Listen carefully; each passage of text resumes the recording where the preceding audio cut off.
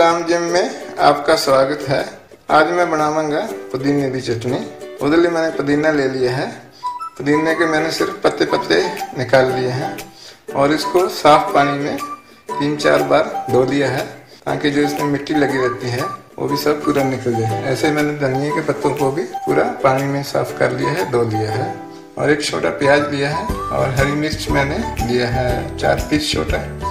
और एक अदरक का टुकड़ा है, एक मैंने टमाटर लिया है, जिसका छिलका मैंने निकाल लिया है और जीरा मैंने लिया है। जीरा को मैंने तवे पे रख के पहले भून लिया था। भूनने के बाद उसको थोड़ा पीस के ब्रिक कर लिया है और थोड़ा सा काला नमक लिया मैंने, आधा चम्मच के आसपास, और नमक लिया मैंने। पुदीना पूरा मैं मिक्सचर डाल दिया। इसी तरह धनिया का जो पत्ता है, वो भी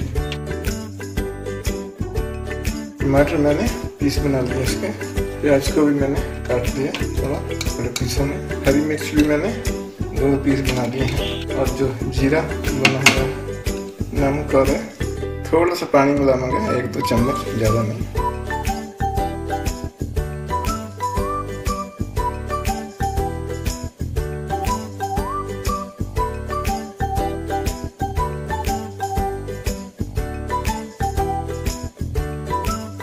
ಚಟ್ನಿ ಬಿಲ್ಕು ತಯಾರ ಏನು किसी छोटे बर्तन से कर ಕಲ್ಲು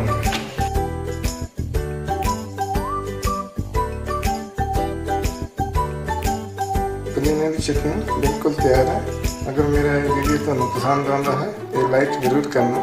और मेरे चैनल को सब्सक्राइब भी ज़रूर कर लेना। उसका बेल का बटन भी दबा देना, ताकि जो भी मैं होर वीडियो बनावा उसका तो तुम नोटिफिकेशन मिलता रहे।